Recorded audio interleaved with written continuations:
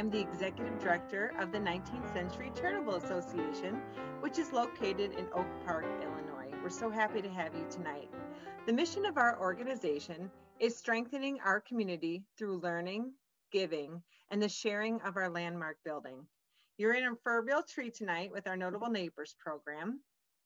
And before I introduce our program presenters, just want to let you know if you are intrigued by something you heard tonight and want to ask a question about it or you have a comment about it, you can do so by leaving a comment or question in our uh, comments field or our Q&A field. And at the end of the program, if there is time, we will unmute you and you can ask your question to the gentleman yourself. But at this time, we are going to welcome to the program Al Parchem, who is the board president. Hi, Al. Hello. Hi, Erin. Thank you very much for the introduction. Thank you for joining the Notable Neighbors series tonight. Um, the, the series has a very simple premise. If you live in a community for a while, you get to know a lot of people and sometimes you realize, well, that person's doing something really interesting. I wonder if others know about it.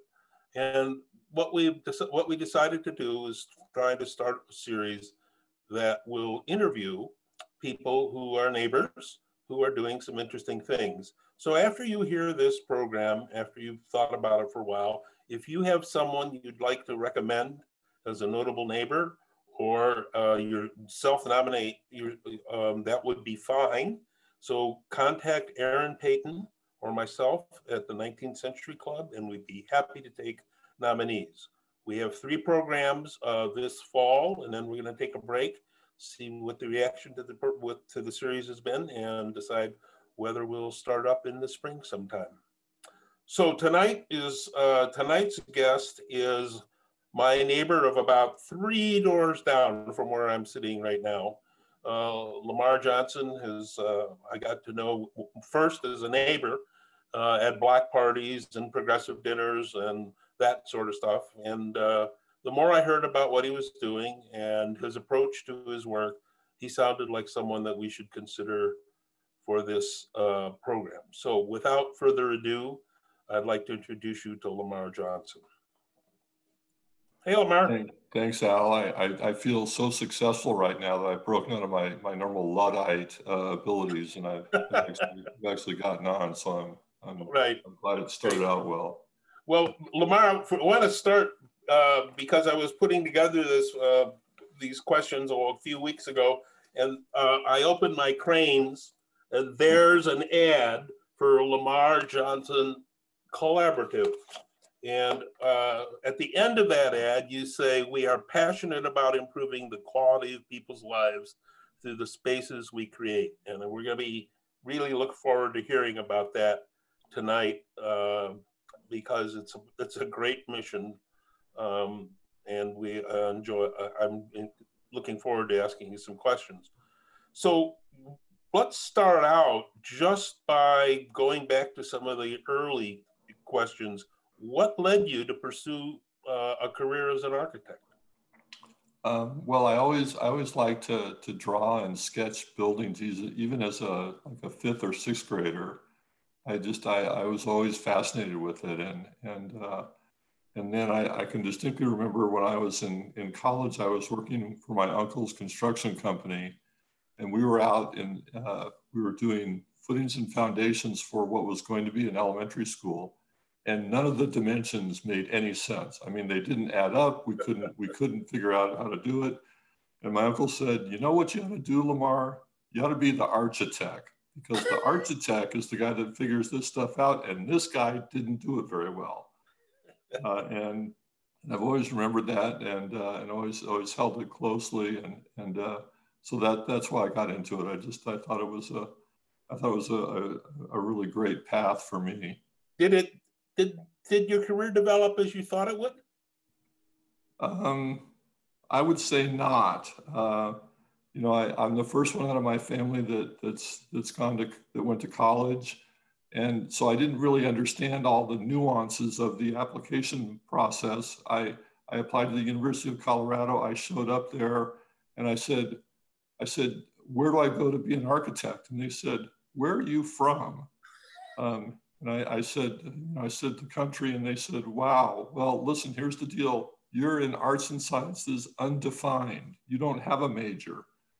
So that was the start to my my career. Um, I, and then I, I, trans, I, I was able to transfer into the School of Environmental Design. There was no architecture school at the University of Colorado. I found out, which is which made the uh, the advisors even even more uh, humorous with, with my plight. So, um, but along the way, I, I became an architect.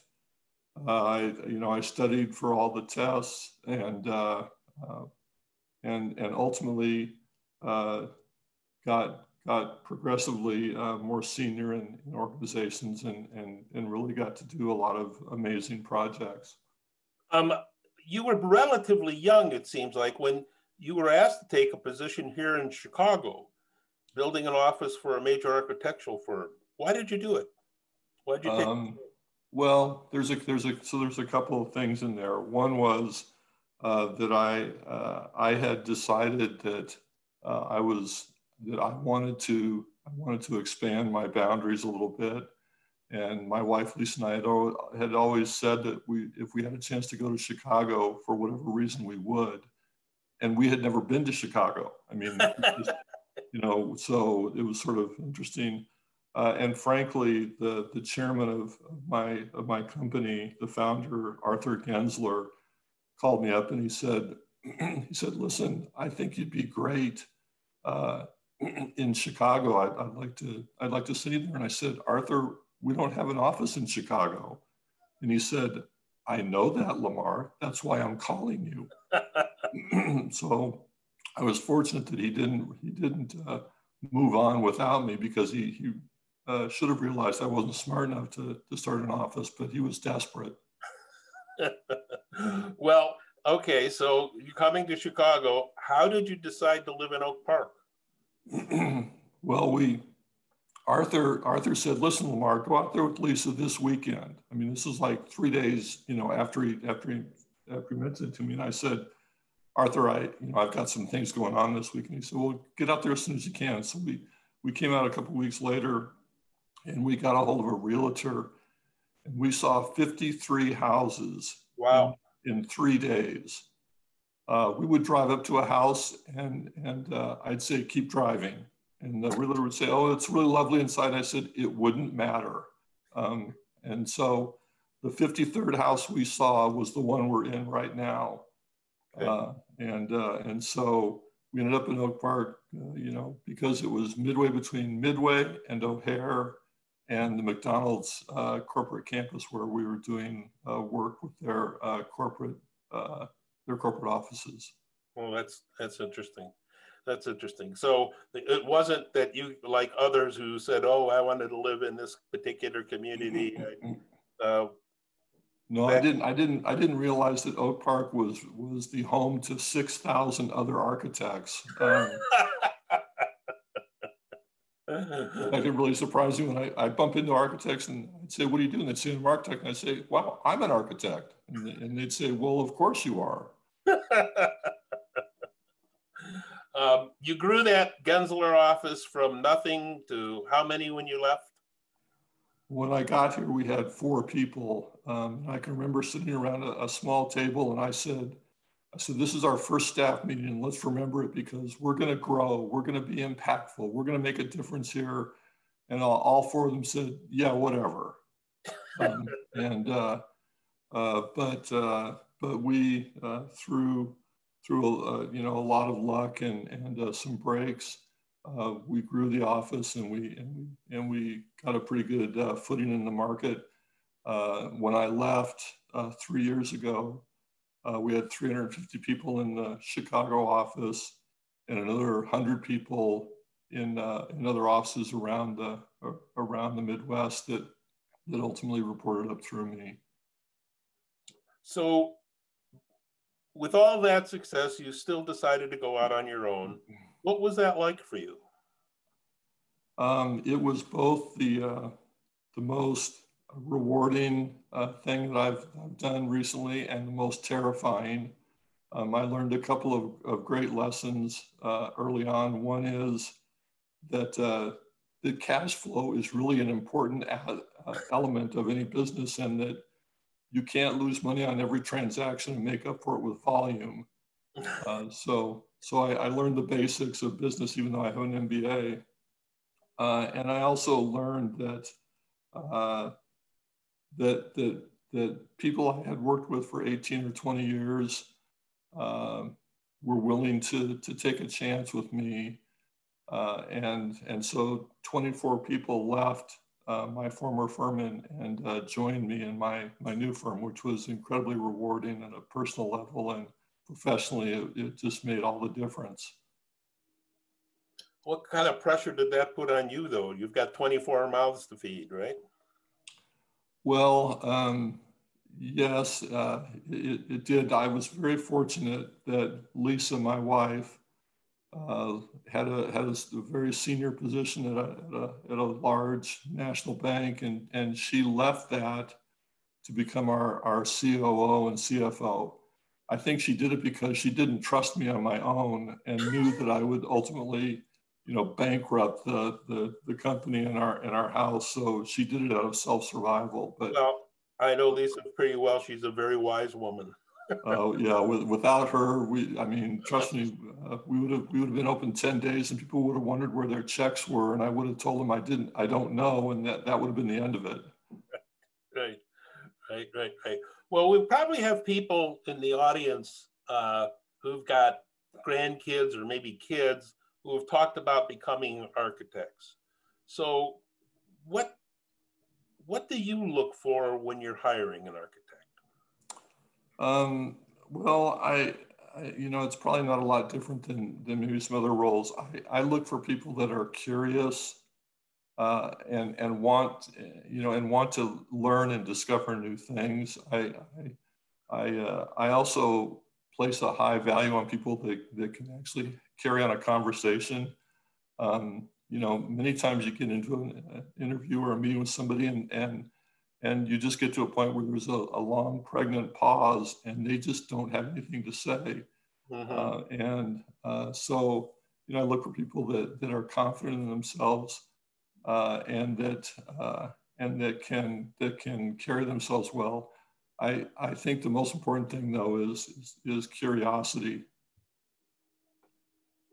Is that uh, by that do you mean like they're interested in uh, learning different things about the whole architectural panoply of things you well I, I think it's a i think it's a great trait for anyone to have to be curious about life um, and to and to continue to want to learn uh, and educate themselves and and find out about things they don't know about because uh, that's what that's what makes life interesting and, and I think that's a, a fundamental asset that architects need because you need to constantly renew uh, your knowledge about different things. There's new materials and, and new codes and requirements and every project and every client is new.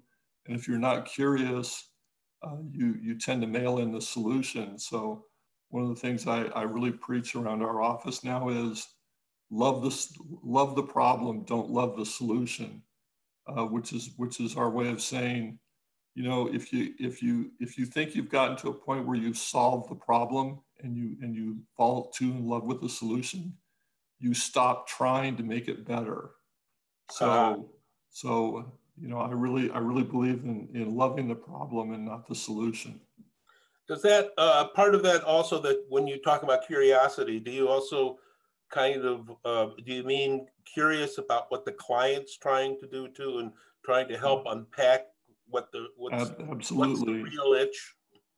Absolutely. In fact, uh, I think when we're at our best, we re we reframe the question and the the, the ask from the client. Um, clients come to us often and they say, I want this. There's a difference between wanting something and needing something. You, you know, everybody wants a jacuzzi and a, and a wet bar in their office, but, but, but what they really need is, you know, an effective workplace. Right. So, so we try to, we try to help our clients understand that difference. Okay. Okay.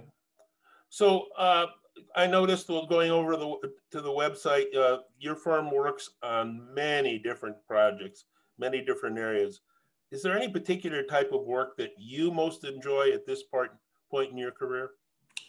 Um, well, yes, I, I actually enjoy community, not for profit, uh, and uh, uh, community organizations, civic organizations. I, I like them because, generally speaking, the people there are committed. They're passionate about what the what the organization does. It's like you know the 19th century club. I mean, the people that are involved there are are like-minded.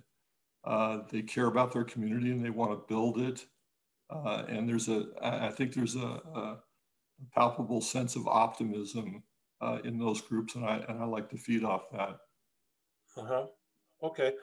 Um, why don't we take a? Why don't you take a take us down through a few slides? Tell us a little bit that will tell us a little bit about uh, Lamar Johnson. Oh, but you know that's another thing. How did it end up being collaborative? How did you? Well, that's interesting. I um, I believe in collaboration, and when and uh, uh, when I was thinking about the name, I mean, obviously, I wasn't overly creative with the first two names. I mean, I thought I thought my name's Lamar Johnson. How about Lamar Johnson something? Uh, and and I really thought about collaboration because I think that's the way. I think that's the I, I think that's the most effective way to create uh, long-lasting solutions. I think uh, none of us is as good as all of us. Uh, and I wanted to make sure that, that clients understood that I would collaborate with them, that, that colleagues would understand I would collaborate with them, that community organizations would understand I would collaborate with them. And I, I wanted to make sure that that was clear. Um, and, and that, that overarches almost everything we do is, is the sense of, of collaboration and of, of uh, partnering with, with, our, with our clients and colleagues. So this, going, this kind of ties into the question about what you look for when you hire people. That notion of being collaborative and maybe going outside of your comfort zone to collaborate is something that people are good traits to have if they're working for you. Well, it is, and, and there's a uh, so I, I ask a couple of questions of people. One, I ask them if they like if they like creating and building something, not not building a building, but but just the act of creating something new. And I also tell people uh, uh, early on, we don't accept butt heads. Um, and if and, and if you and if you are a butt head, and if you've and if you've gamed me or tricked me in the interview, it will come out. And when it comes out, we won't work together anymore. So I ask people to be really honest with me and to evaluate whether they think they can fit. Okay. All right. Okay, so uh, I asked Lamar to get put together a few slides of would give us a sense of uh, the of this company, and uh, we'll go through them, and you can comment on them, and I'll probably ask you some questions too. So, um, so this is just uh, you know, we can go obviously past this one. Um, this first slide is is uh, a picture of of our firm, uh, and at this point we're we're uh, a little over 10 months old. So you can, you can imagine uh, how both exciting and terrifying it was to, to see, you know, how, how much we had grown. But uh, there was a, there was a wonderful energy and a, and a, and a great buzz. And I, I mean, I love these people and, and uh, you know, many of them are still, still with us. So I want the audience to know just to, to uh, note that down in the front of this picture, there's a blonde woman with her hand up waving, and that's that's Lisa Johnson, the person who saved the firm many times while, while Lamar went out and looked for business. That's right. So over here, a little, two more, a little bit over to the right. There you go. There she goes. There That's Lisa. Good. So she's she's the brains. She's absolutely the brains behind the whole organ, the whole organization. No no question you certainly have a, a wide range of ages in this group. We do, um, and and that made it. I mean, that made it even better. Um, I mean, it's just a, it's a, it's it's a it's a fabulous group of people. Uh, so I'm, I think what I'm looking at is a group of risk takers, right? I mean, they they they decided that well, I'm well, what I told them was they were all fantastic architects and designers. They didn't display much judgment about where they worked, but um, but uh, I, I was honored and I and I was truly humbled uh, that that they wanted to join. That's great. That's great. Well, why don't we go to the next slide?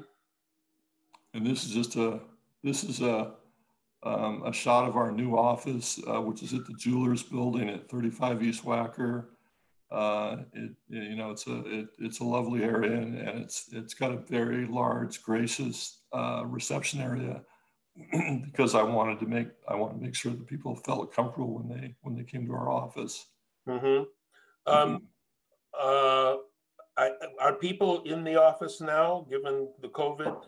We have we have been going back and forth to the office. Not all of us. Uh, some people have have risks uh, that that keep them at home, uh, and uh, so we probably have uh, maybe a third to a half of our of our our folks are in the office at any one time.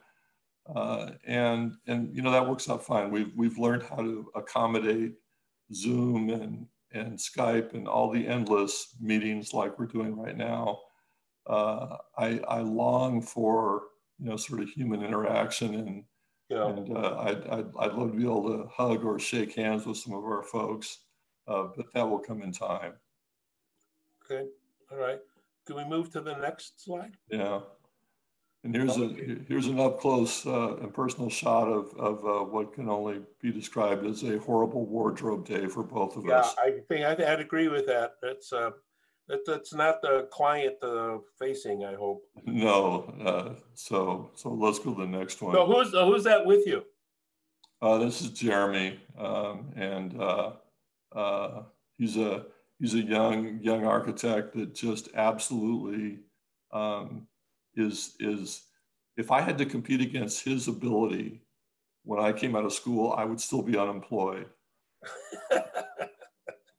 um, do you uh, going back to hiring? Do, do, you look at particular schools of architecture? For... Um, we, you know, I wouldn't I wouldn't say that we overly do. Um, you know, I, I, think I learned from my experience that uh, you can get to the you can get to an effective endpoint, uh, and you can you can have a, a, meaningful career going through a lot of different uh, pathways. So um, I usually I, I, I, judge people much more on uh, on whether they, as I said, whether they're curious, they have energy, they they seem interested. I used to, I, I, some clients that I worked with were very high tech clients. And when they found out uh, when I found out that the head of advanced technology, and this was really advanced technology at the time, was not from a major electrical engineering school, uh, I was just shocked. but well, I, will I'll tell you a, a, quick story. When I when I came to Chicago, um, I was invited by the executive director and the president of the AIA, the American Institute of Architects, uh, for for Chicago to go to lunch with them and and and they both said, listen, you know, you're with this very large firm and you've just moved to Chicago. We want you to be on the board. And, uh, and I said, well, I, I, said, I'm, I'm flattered. I said, uh, and I, and I thought, I thought I'd have a little fun with them. So I said, you know, I, I already feel like I've got a great rapport with you and I can trust you. I, I, I feel like I need to tell you something. They said, what? And I said, I never really graduated from college. and, and, and they, they just froze. And, and I said, you know, I'm not really an architect. And, and, and they just, they were just frozen. They said, are you kidding? I said, yeah, I'm kidding. Of course I'm okay. Um, and, and, uh, and they never really, I don't think they ever really got over that, but they did ask me to join the board. so, so for all those all those people that are out there, I am registered. I am a registered architect. I actually graduated from college, and I am I'm registered in 42 states. So okay, all right. All right. It's just another one of those bold jabs that you like. I know that. I know that from you, you being my neighbor. Let's move on to the next one. So uh, this is what's going on here, Lamar. Well, you know, I, as I said before, you know, the, the thing I'm most proud of is that we, we, our firm, have a, a wide range of, of uh, institutions that, that we deal with. Um, and, and I'm particularly proud of the work we do in the community. So this is just a listing of, things we've done in Austin and with Harold Washington Library and Adler Planetarium and Cristo Rey High School and, and a whole host of others. Um, and and I, I, I think uh, I think it's one of the things that architects in particular should participate in. Uh, we have a unique ability to to help uh, uh change uh, institutions, improve them, make them better. We have a, unique skill set that, that, uh, that I think is very valuable to these folks. And I also think we have a responsibility and obligation to, to serve our communities. Uh, so, so this is just a, it's just a kind of a snapshot of, of a number of the not-for-profits and civic uh, organizations that we work with. Well, it looks like uh, uh we could we don't have the time. Uh, I guess, you know, we have to let the, the presidential debate get in our way here, but it looks like we could talk about for quite a while about some of these projects. Well, it's been, I mean, it, it, it has been such a source of pride for me. And, and uh, you know, I, I just, I, I love this. In fact, uh, just, you know, quickly, I was, the, I've, I've been the vice chairman uh, of the Adler Planetarium and while I was the vice chairman there, uh, one of the staff members came up to me and, and asked whether I would whether I'd be willing to go to Washington D.C. to to check in with our congressional delegation. I and I, I said, you know, tell me what the details are and when it is. And she said, and by the way, you'll be going with Captain Lovell from, Apollo 13. And I said, I said yes. So Captain Lovell and I went out to Washington D.C three or four years in a row and, and met with the congressional delegation. And I, I assure you that if it was Lamar Johnson and, the, and, and that was all they were going to meet with, I would still be there waiting for someone to open the door. But with, with Captain Lovell, uh, you know, the door swung open wide and, and uh, we got to meet with, with many people that uh, Senator Durbin and Senator Kirk and and all the representatives, and and uh, it was really it was an honor to travel with him. That's great. That's great. Um, I, I'm, I'm just, I, we should move on, but I want to ask about a couple things here. The Gold Star Families Memorial Park, where is that? Uh, it's in, uh, it's at the, uh, the football at the Bears Stadium. Oh, at the Bears, okay. And uh, it, it commemorates, uh, it commemorates the, the canines and the, and the equines, the, the oh. dogs and horses that have that have served uh, the police. Okay, okay, okay. Thanks. Why don't you Why don't we move on? Um, this is a this is a recent uh, uh, project that we were we were invited to become involved in. It's a it's a pop up park. We call it Pop Courts. It's at Chicago Avenue and Lockwood. So if any of you are familiar with that, it's, it's uh, close to Central. Uh, and we, we designed it so that it could be, it's, a, it's an empty lot right now, and, and we designed it for, for community activity. Uh, we've actually gone to uh, CDOT, the um, Chicago Department of Transportation, and, and gotten them to approve us painting the intersection. Let me tell you, I mean, I've worked on high rises that got easier approvals than, than this. And I'm, I'm, and I'm, I'm grateful uh, for CDOT's willingness to, uh, to let us express across the intersection. But uh, the next uh, picture, I think, is another one that will show a, a little different view of it. Uh, there's actually a grand, oh, wow. there, there's actually an opening uh, this Saturday morning. We're going to have the, the groundbreaking for this. Uh, we're doing it in conjunction with uh, United Way of Chicago, and and uh, we're we're just we're thrilled about this. We're really excited about it. And it would seem like it would be the sort of idea that you could do all over the city. There are a lot of vacant Absolutely. Lots. And and I I actually I I'm I'm more proud of this than I am of of, of uh, almost anything because it will make a difference in that community and, uh, and, and that I think is is uh, the highest uh, calling you can have. That's really cool. That is really really cool. Okay, let's move on. Uh, this is this is a project that uh, we did at the Adler. Uh, let me just, for transparency's sake, I am not related to Samuel C. Johnson. that would be There'll be SC Johnson out of out of uh, Milwaukee. And, we're seeing, yeah. Yeah, and and I I wish I were a, a uh, you know a family member, but uh, it's coincidental. But we we redid this uh, prior to uh, another another element with the space program at the Adler, uh, which was the uh, the anniversary, the 40th anniversary of Apollo 17, uh, and and that mission. So Captain Cernan was was with us along with Captain Lovell. So anyway, we we did this as a pro bono thing because frankly, uh, the Adler didn't have enough money to, to get it done. So we, we, we, we did it, we provided our services for free and they were able to spend more money on the actual build out of this. That's great. That's great. Uh, so, what, it reminds me of the issue though that we have at the 19th Century Club. I noticed the theater and it's, you know, getting people congregating is a tough thing. It's going to be a tough thing for a while. I know. No, it's it's changed everything. Uh, yep. Yep. Okay. next next slide. this is the McDonald's headquarters that I I worked on at my previous firm. um, this is on the old the old site of the Harpo Studios. Oh, okay. Uh, and uh, in the West Loop, we did this with Sterling Bay as the developer, and uh, McDonald's uh, took the whole building and, and moved from Oakbrook uh, down here. It's been a very successful move for them and, and it was a great project for us to be involved in. On this project, um, we, uh, Andy Gloor from, from Sterling Bay called me and he said, said, all right, I have a tenant for the building. He wouldn't tell me who it was. And he said, we need to go.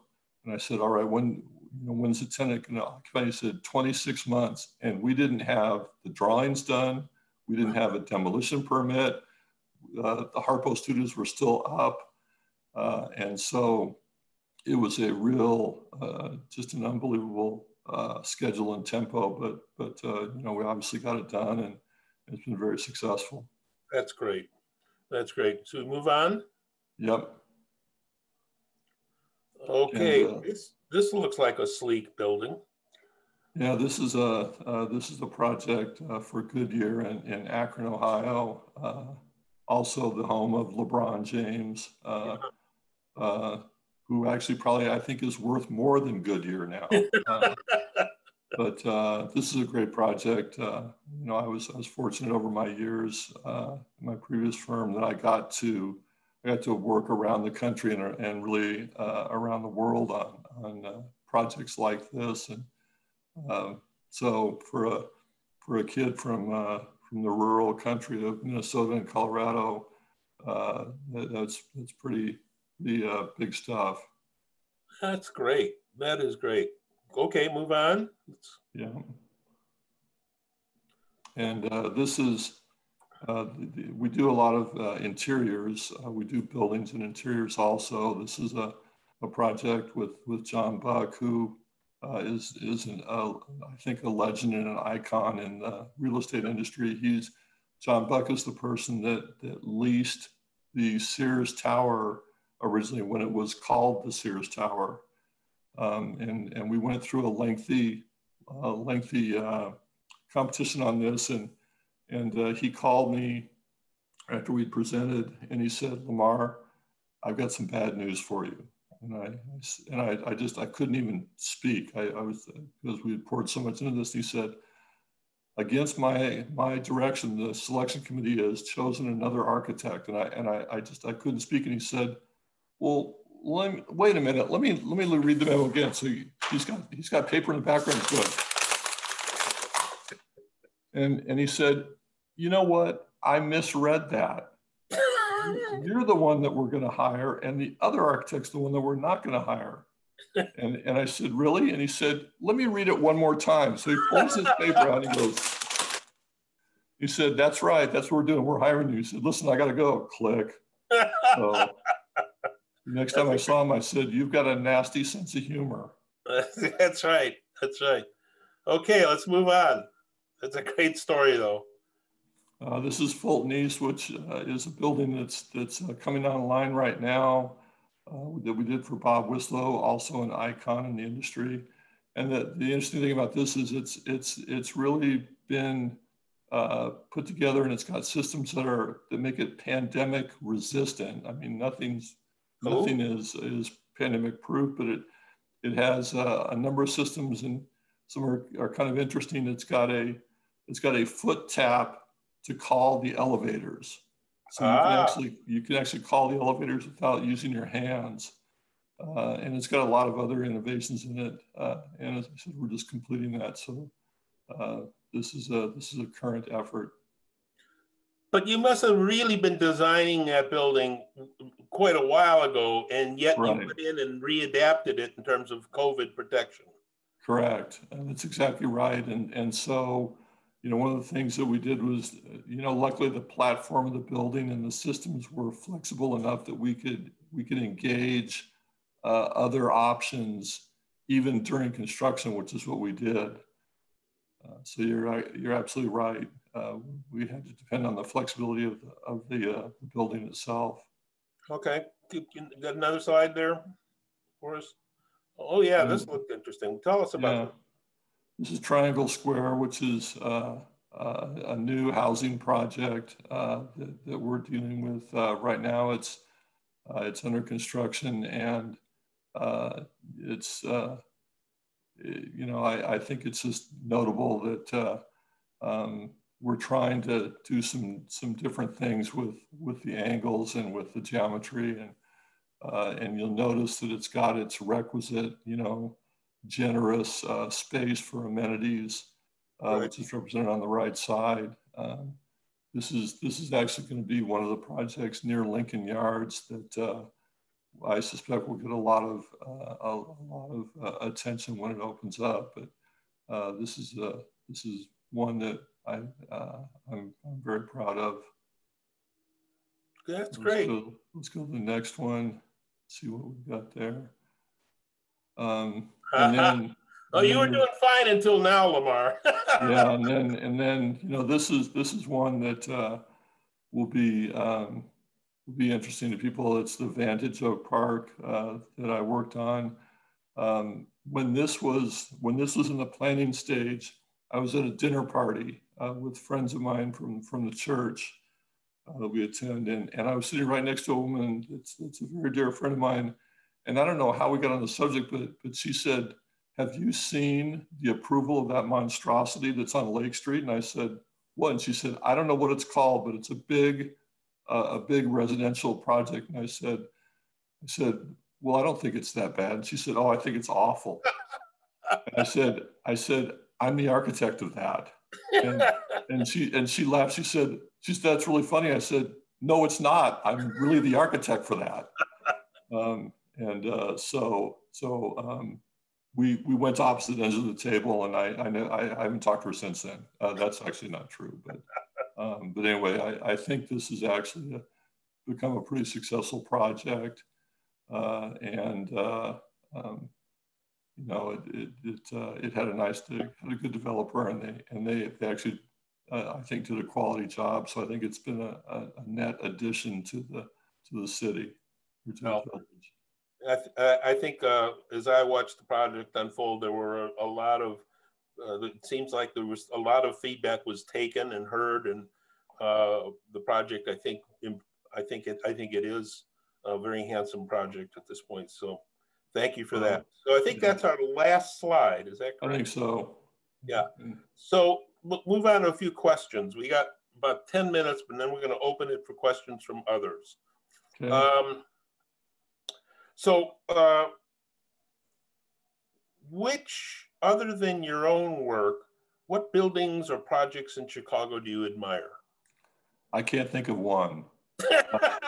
so um, I, um, you know, I, I, thought about this. right. Yeah, I, you know, there's there's two projects in particular that I just love. The the modern wing of the Art Institute, I think is is stunning. It's it's it's beautiful, and actually the building that I think is is probably the most remarkable is the Apple, uh, the new Apple uh, flagship on uh, on Michigan Avenue. I, I, that that project is just stunning. I mean, it's so beautiful and, and everything was thought through. Um, it, uh, it's, it's beautiful. I think the, the, uh, the craft that went into that is just amazing. Know, is that one of those things where you kind of looked at it and said, why didn't I think of that? oh, I, I look at it and I think I couldn't even conceive of that. Um, okay. I mean, it, it's, it's just, it's, it's all, it's all so, so, so stunning. So, okay. Um, we, we touched on this a little bit, but you said that doing architecture is about solving problems. Can you give an example or two of that? Um, I can give you, uh, I'll give you one that's, that's uh, pretty simple. Um, I was on a job uh, during the punch listing when, when we were finishing up the project and I, I, ran into one of the people that was, that was in their office and, and, and this woman said, I need a drill. And I said, you need a drill? What do you need a drill for? And she said, because I need to put a hole in my desk. And I said, what's the hole for? And she said, because I need to, I need to snake a, a, a phone line through it because I don't have a phone on my desk and I'm, I'm not near an outlet. And I said, "Ah," I said, what you, what you need is the needs and wants. So what you need is the ability to communicate with your clients and your colleagues. You don't need a drill. Um, and I said, so the problem is we got to find a way to get you connected. And she said, okay, I'll buy that. Um, so, so, you know, make this work. So um, I think, uh, I, I think, I think of, of architecture as, as, as a way to solve problems. And I think of architecture as, as, an, as, a, as an, an unbelievable expression of optimism. Nobody builds a project or renovates if they don't feel like there's a reason, a positive reason to do it. I mean, you know, you don't you don't see people saying, "Well, you know, I'm down on my luck. I don't like this area. I I dislike my neighbors, but you know, I'm going to go ahead and build up." um, so so I, I, you know, there there's a there's a sense of of, of optimism and uh, and enthusiasm that goes with architecture that that uh, I think is is wonderful. Um, Lamar, I'm going to change tacks a little bit. Uh, your career has involved a lot more than architecture, and your firm has done significant amount of pro bono work. What does that say about what you believe and how you were raised? Um, well, I, I, I, think I recognize that that, uh, that first of all, I, am I'm, I'm very fortunate and very lucky and blessed to uh, to have had the opportunity to be an architect to to have the opportunity to, to work with a, wide range of people. And uh, and it, it, it, it probably ultimately is just an expression of the fact that, that I, I believe that I, I owe some of that back to other people. And, and that's why I, I'm so invested in pro bono uh, work because, uh, you know, I didn't get here on my own. Uh, uh, I'm not a self-made, uh, you know, person. I, I, I, I only am here through the through the grace of, of uh, you know strangers that, that helped me along the way. So uh, you know I, I just I, I feel like it's it's a responsibility and obligation to, to give back. So uh, that's the giving back part of it. But I want to ask you about one specific project, which I think has probably got a lot more than just giving back to it talk a little bit about the Big Ed Bowl. Oh, well, Big Ed was uh, um, he was a colleague of mine uh, that uh, unfortunately had had a, a rare uh, version of skin cancer and and uh, and passed away from it. I told his his at his at his wake, which by the way, his wake was at the New Rebozo. We closed the whole restaurant down and we actually ran up a, an $8,000 tab. Um, so he would have been proud. Um, but, um, uh, but I told his, his widow that, that we would that we would begin uh, a fundraiser for cancer research. It, it ultimately morphed into a fundraiser for cancer research and for Parkinson's.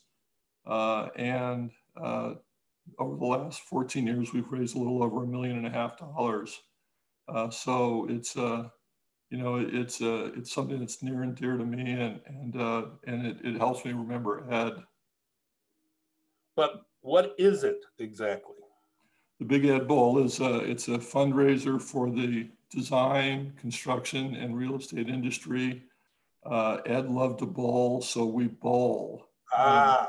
And uh, um, and and you know we do a lot of other other things. Uh, uh, but uh, it's really it's about it's about it's about bowling and about having fun and it's about about coming together as a as the as the industry. There's four 400 450 people come to it. Wow, that's great. That yeah, no, it's it's it's really wonderful. It, uh, I learned when I came to Chicago that that Chicago I think has got the most generous uh, uh, industry uh, for philanthropy and, and for uh, uh, helping out non-for-profits that I'm aware of in, anywhere around the country. I, have been in a lot of different cities and, and Chicago, I think, is distinguished among all of them for, for, for its generosity uh, with with other other causes. And so I, I learned early on that you know that was expected of me. Right. Okay. Great. Well, it's about quarter after. Um, we, we uh, it's about time. Aaron, why don't you come back in and see if we have any questions or comments? Great. Well, that was ah.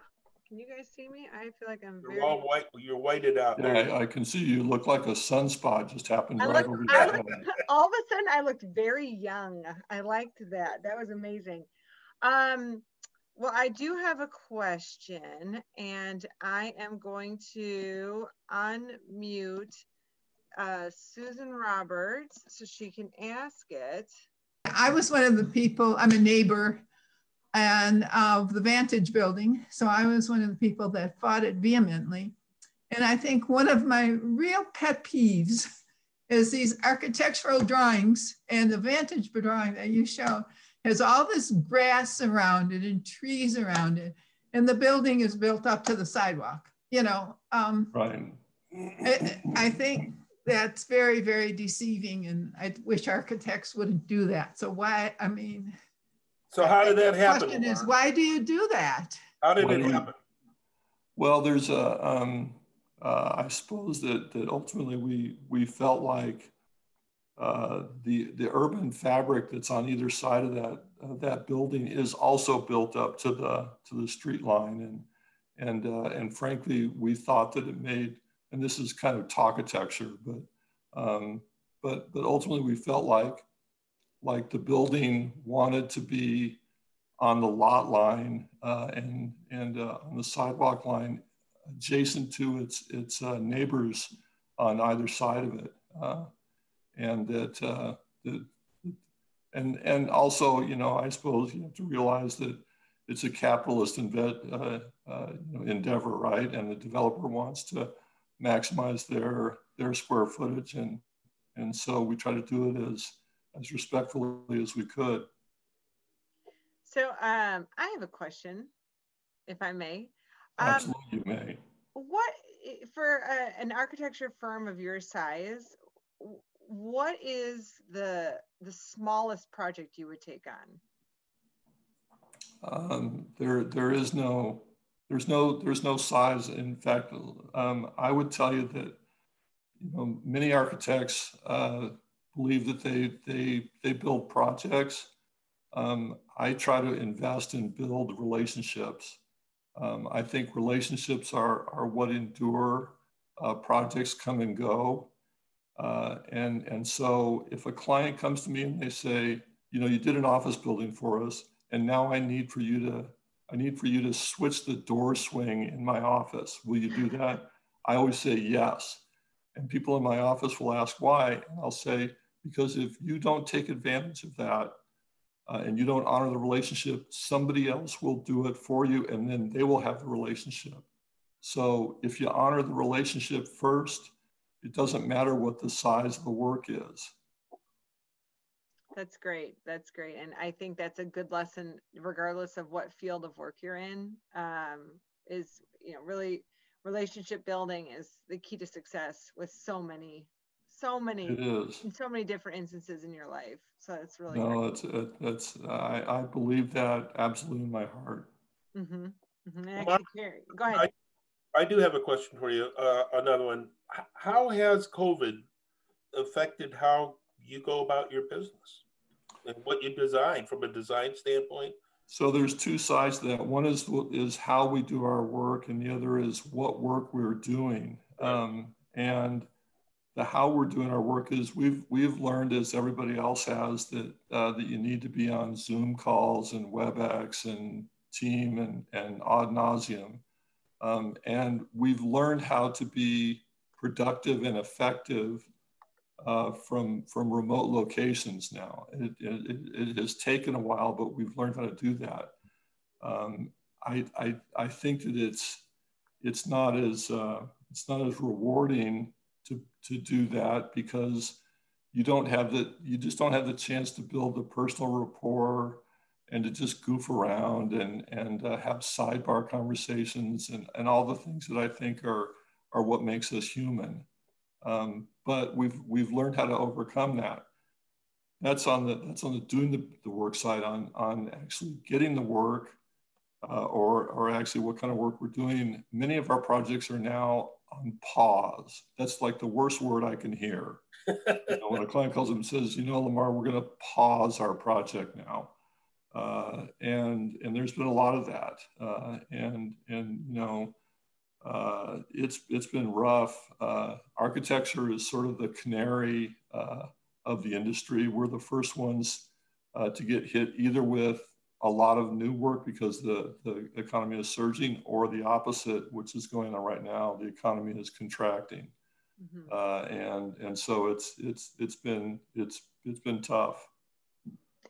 Yeah, and, and again, you're saying something that could reach across a lot of different fields and industries right now too. Um, hearing that word pause is uh, definitely right. heard a, very close to home in all sorts of different places. Um, well, I, but I will tell you that that that relationships uh, help you get through that. Um, people tend to tend to to bond and and and uh, and close ranks with the people they trust and that, that have been there for them before. And so uh, we've been very fortunate that we, we have great relationships around town because we've, we've uh, taken time to, to honor those folks and, and to do the things that we said we would do. Um, and so uh, we're very lucky to have the work that we do have. Right, because if one project falls through, it doesn't mean that there won't be five down the line. That if you keep that relationship strong, it's right. It's going to be there. Yeah, at least that's what I that's what I hope, Aaron. I, am your biggest supporter, Lamar. I think you're going to be just fine. well, that, that's kind of you. We we've been we've been very fortunate, and uh, uh, relationships uh, have have endured. So uh, you know we're we're we're very lucky. Well, well, Lamar, I want to thank you so much for doing this. It's been a lot of fun for me. I hope you've enjoyed it. Aaron, we'll turn this back over to you at this point. Awesome. Well, I'll just keep you guys on. I just have one last thing to say, and that's just thank you so much for coming out tonight. Um, this has just been such a fun series, learning about our neighbors and about you know people who are living in Oak Park, but also just learning about different fields. I think it's been educational in general. Um, so if you like this program, you can go to www.19thcentury.org and learn more about what we have upcoming. We have a regular Monday series every afternoon, Monday afternoon at 1.30. And if you want to help make this program even stronger and all of our programs, you can make a donation right on our homepage, www.19thcentury.org. Well, thank you so much on behalf of Al and Lamar and everybody at the 19th Century. Thank you so much and have a wonderful